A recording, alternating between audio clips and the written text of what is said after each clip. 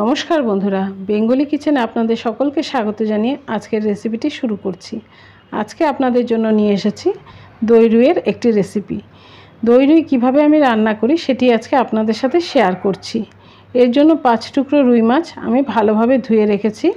মাছগুলোর মধ্যে নুন দিয়ে ভালোভাবে মাছগুলো মাখিয়ে নিচ্ছি। মাছগুলো প্রথমে ভালোভাবে নুন দিয়ে মাখিয়ে নিচ্ছি।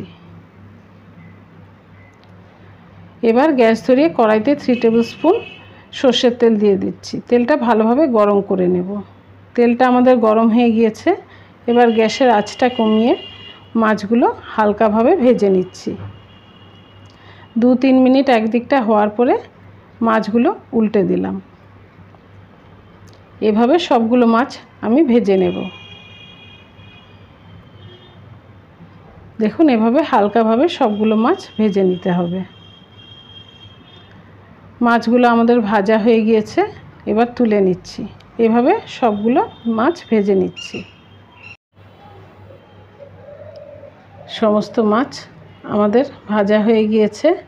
এবারে দিয়ে দিচ্ছি একটা তেজপাতা, দু তিনটে এলাচ, দু তিনটে লবঙ্গ আর একটু দারচিনি ফোড়নে। ফোড়নটা দিয়ে একটু নাড়িয়ে নিয়ে তারপরে আবার ফোড়নে দিচ্ছি সাদা জিরে। একটা মিডিয়াম সাইজের পেঁয়াজ মিক্সিতে পেস্ট করে রেখেছিলাম, সেই পেঁয়াজ বাটাটা দিয়ে এক মিনিট মতো নাড়িয়ে নিচ্ছি। এখন দিয়ে দিচ্ছি আদা বাটার রস। অল্প আদা আমি বেটে নিয়ে সেই রসটা দিলাম। তিন চামচ মতো আদা বাটার রস দিলাম। এখন দিচ্ছি ওয়ান ফোর চামচ হলুদ, অল্প লঙ্কার গুঁড়ো। ঝালটা আপনারা যেমন পছন্দ করে থাকেন, সেই হিসেবে লঙ্কার গুঁড়োটা দিতে পারেন। ভালোভাবে কষিয়ে নিচ্ছি। আজকের এই রেসিপিটা আপনাদের কেমন লেগেছে অবশ্যই কমেন্টে আমাকে জানাবেন। এখন দিয়ে দিচ্ছি পরিমাণ মতো লবণ। কাজু আর পোস্ত বাটা দিয়ে দিলাম। কাজু আট দশটা আর পোস্ত এক চামচ মতো ভিজিয়ে রেখে একটু জল দিয়ে বেটে নিয়েছি, সেই বাটাটা দিলাম।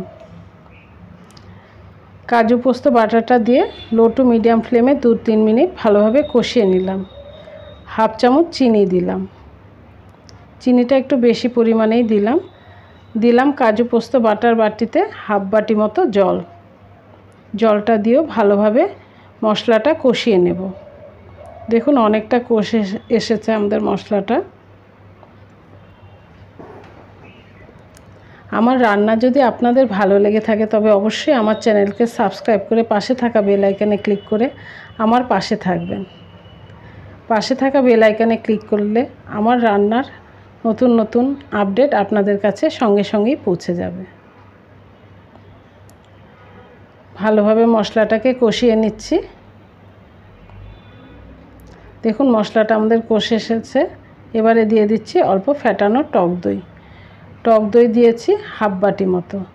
টক দইটা দেওয়ার সময় খেয়াল রাখতে হবে গ্যাসের আঁচটা যেন একদম কম থাকে। একদম গ্যাসের আঁচটা কমিয়ে দিয়ে আমি টক দইটা দিয়েছি। না হলে ফেটে যাওয়ার ভয় থাকে। টক দইটা দিয়েও কিছুক্ষণ ভালোভাবে কষিয়ে নিচ্ছি।